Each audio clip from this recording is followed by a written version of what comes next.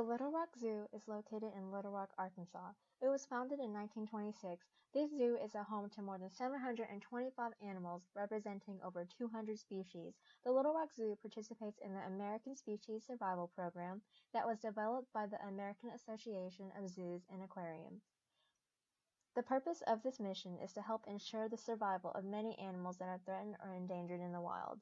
Let's take a look at the few animals housed in this popular tourist attraction.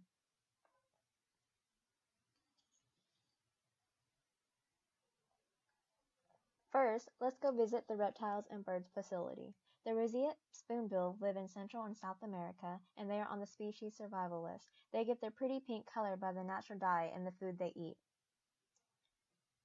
The Scheepmaker's crowned pigeon live in southeastern New Guinea, and they are on the species survival list. They are easy targets to hunt because they are unafraid of people. Many hunters collect their feathers and sell them illegally.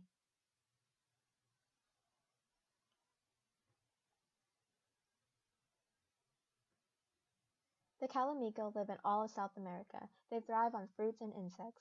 When the dry season comes, they are the only tropical monkeys to rely on fungi for food. They weigh less than one pound and can jump as high as 14 feet. This monkey is very playful. Unfortunately, they are on the threatened species list.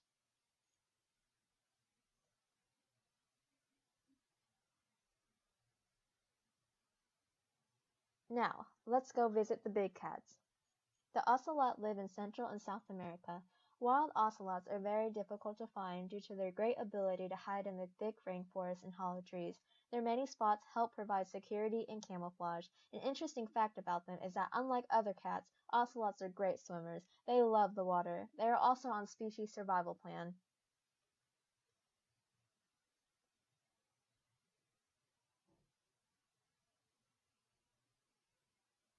The cheetah reside in Asia. They are on the species survival plan and only 10,000 exist today with numbers still declining. The African lion live in southern Africa. An interesting fact is females do most of the hunting while the males protect their territory. Unfortunately, they are a threatened species. The Malayan tiger live in Asia. Even though they have bright orange stripes, that does not stop them from being able to hide. Their black stripes help provide camouflage. They are an endangered species.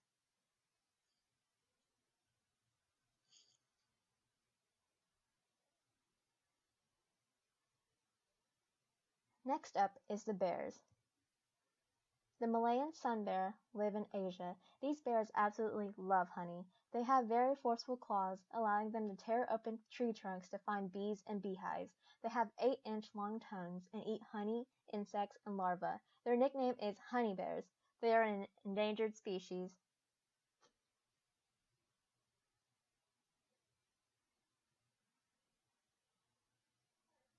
The bush dog reside in South America. They sleep in hollow trees or burrows that have been abandoned by other animals.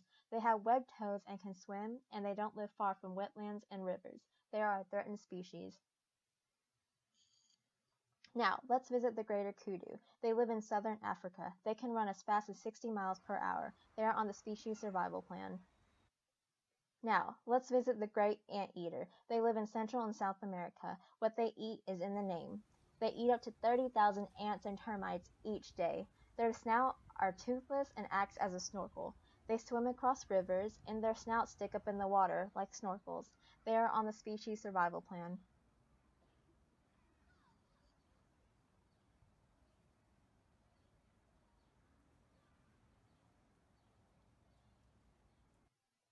Next, let's visit the great apes. Chimpanzees reside in Africa. They are very intelligent animals, as people have taught them how to use sign language and understand symbols.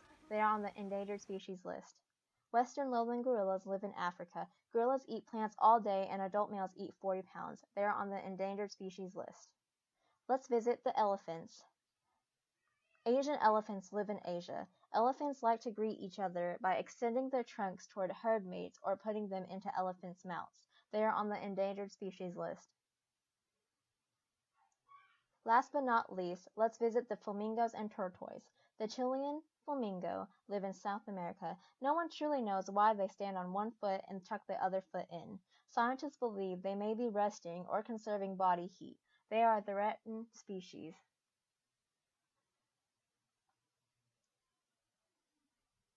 The Aldabra tortoise live in Africa. They are one of the largest tortoises in the world, males weighing up to 550 pounds. They are a threatened species.